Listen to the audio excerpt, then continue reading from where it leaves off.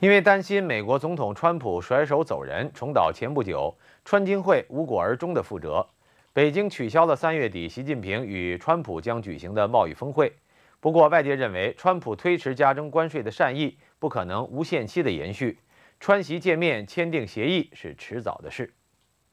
美国《华尔街日报》、福克斯新闻等多家美国媒体报道，由于川普与金正恩会谈失败，尤其川普中断会谈并走人的决定令北京意外。北京担心，习近平与川普举行潜在峰会时，不但不能讨价还价，反而要面对川普离场，将习近平置于丢脸的尴尬境地。三月八号，北京取消了本月下旬在海湖庄园的川习会。当天，美国政府一位高级官员也向美国全国广播公司证实，原定三月底川普和习近平在佛罗里达海湖庄园的会晤已经取消。这位官员表示。北京担心川普对美中贸易协定感到不满意，一走了之会让习近平难堪，也会让已经十分紧张的美中贸易关系雪上加霜，使两国高级官员长时间以来的谈判努力付之东流。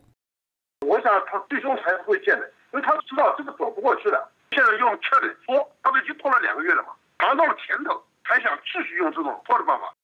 大陆学者、中国问题分析人士林双认为，中共根本无法达到美国要求的公平贸易，因为中国的民众被中共剥削得太厉害，无法靠内需来提振经济，投资也已经无处可投，唯一指望外贸、偷技术来维持生存。现在北京就是拖一天算一天。川普已经让步，再让步，这些都是美国的善意，那川普能够再让下去吗？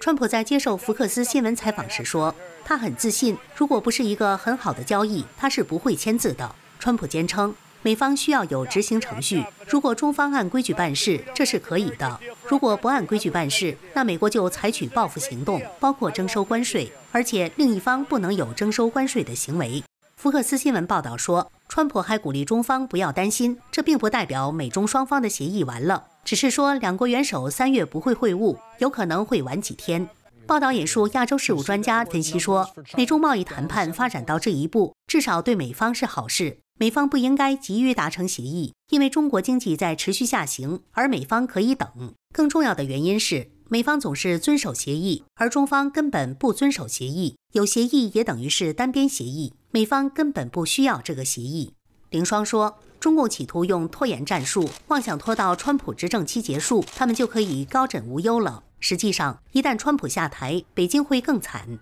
三月十号，大陆央行行长易纲在新闻发布会上宣称，双方在许多关键和重要问题上达成了共识。易纲暗示，中美接近达成一项汇率协议，这是为解决长达一年贸易争端而举行的谈判的一部分。而人民币汇率一直是美中争论的焦点。川普在竞选时就直言不讳地表示，中国操纵人民币汇率，造成中国产品相对便宜，从而在贸易中取得优势。去年，川普又指责北京通过压低人民币汇率来抵消美国加征关税对中国产品的影响。易纲表示，中国绝不会把汇率用于竞争的目的，也不会用汇率来提高中国的出口。外界认为，这是北京又让了一步。据《华尔街日报》援引知情人士的话说，北京高层表示，只有在确信两国元首亲自会晤时，可以真正敲定一份协议的前提下，才同意举行峰会。澳洲昆士兰大学教授邱垂亮认为，川习会应该是美中两国贸易代表已经谈妥后的一个签字协议。